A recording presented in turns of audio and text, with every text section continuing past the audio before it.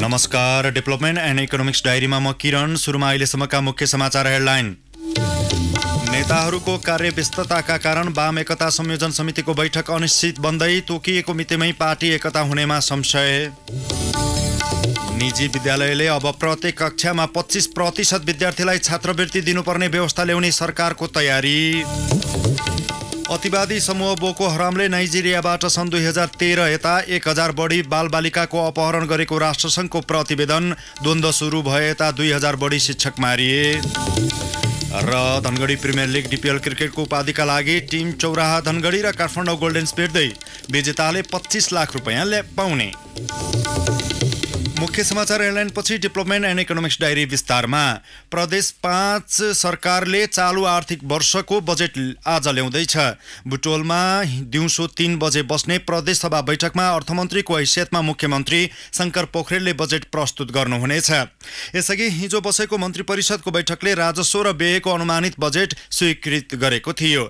चालु आर्थिक वर्षका लागि सङ्घले प्रदेशलाई एक अर्ब दुई करोड पाँच लाखको बजेट पठाएको थियो। स्रोतका अनुसार बजेटको करिब एक तिहाई रकम सांसद तथा मन्त्रीहरूको पारिश्रमिक सुविधा र व्यवस्थापनमा खर्च हुनेछ। एक तिहाई बजेट विकासात्मक काममा खर्च हुनेछ। करिब एक तिहाई रकम भने सञ्चित कोषमा राखिनेछ। विकासात्मक बजेट खर्च गर्ने समय नभएको र तल्लो तहसम्म प्रदेशको संरचना नभएकाले सञ्चित कोषमा बजेट राख्न थालिएको प्रादेशिक आयोगका उपाध्यक्ष डाक्टर प्रकाश श्रेष्ठले बताउनुभयो। विकास बजेटको अधिकांश सम्भावित विकास आयोजनाको सम्भाव्यता अध्ययनमा खर्च गरिनेछ। प्रदेश कार्यालय व्यवस्थापन मन्त्रालयको भौतिक व्यवस्थापन तथा कानुन निर्माण लगायतमा समेत खर्च हुनेछ।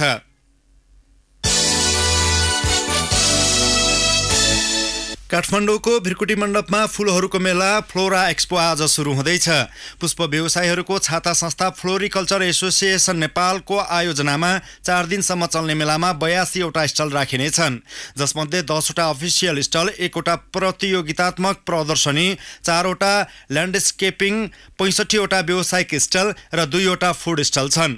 मेलामा मौसमी फुल अलङ्कारिक बोट बिरुवा कट फ्लावर ड्राई फ्लावर सुनखरी कम्पोस्ट मल फुलको गानो बिउ बिजन ग्रिन हाउस कृषि औजार उपकरण प्याकेजिङ सामग्री सूक्ष्म तथा थोपा सिँचाइ प्रविधि विषादीका प्रदर्शनी र बिक्री कक्ष राखिनेछन्।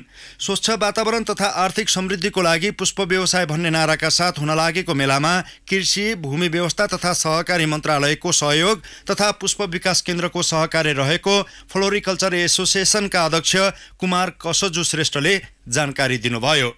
डेभलपमेन्ट एन्ड इकोनोमिक्स डायरीमा अब ब्रेकको पालो। ब्रेकपछि डेभलपमेन्ट एन्ड इकोनोमिक्स डायरीमा अब बाँकी प्रसङ्ग मुलुकको सुधानान्तर घाटा बढेर फागुन महिनामा चौबिस अर्ब त्रिहत्तर करोड रुपियाँ पुगेको छ। चार महिनादेखि बढिरहेको घाटा फागुनमा थप आकाशिएको हो। यो घाटा सम्भवतः हालसम्मकै उच्च हो। यसअघि दुई हजार छैसठी फागुनमा शोधनान्तर घाटा तेइस अर्ब त्रिपन्न करोड रुपियाँ पुगेको थियो।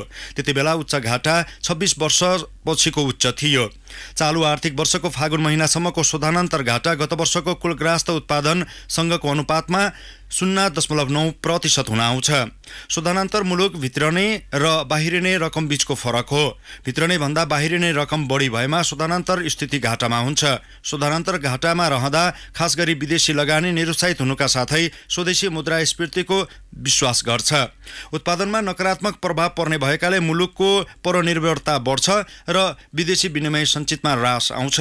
विगतका तुलनामा पछिल्लो महिनामा देखिएको शोधानान्तर घाटा डरलाग्दो भएको र यसले समग्र अर्थतन्त्रमा नकारात्मक असर पार्ने राष्ट्र बैङ्कका पूर्व कामु गभर्नर कृष्णबहादुर मानन्दरले बताउनुभयो।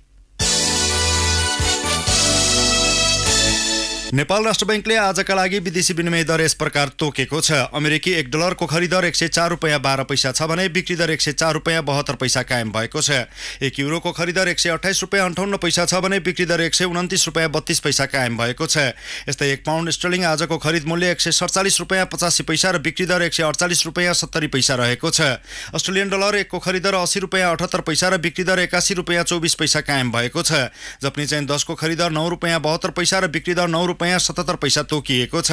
यसै गरी सौदी अरबियन एक रियालको खरिदर सत्ताइस रुपियाँ छिहत्तर पैसा र बिक्री दर सत्ताइस रुपियाँ बयानब्बे पैसा कायम भएको छ। कतारी रियल एकको खरिदर अठाइस रुपियाँ उनासाठी पैसा र बिक्री दर अठाइस रुपियाँ पचहत्तर पैसा रहेको छ। संयुक्त अरब इमिरेट्स युए दिराम एकको खरिदर अठाइस रुपियाँ पैँतिस पैसा र बिक्री दर अठाइस रुपियाँ एकाउन्न पैसा कायम भएको छ। मलेसियन रिङ्गेट एकको खरिदर छब्बिस रुपियाँ छयासी पैसा र बिक्री दर सत्ताइस रुपियाँ एक पैसा रहेको छ।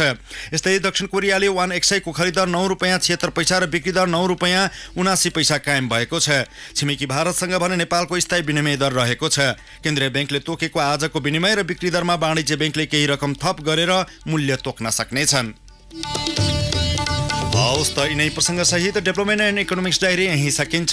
बिहान नौ बजे कान्तिपुर डायरीका साथ उपस्थित हुने नै छौँ। अहिलेलाई म किरण बिदा माग्छु। नमस्कार।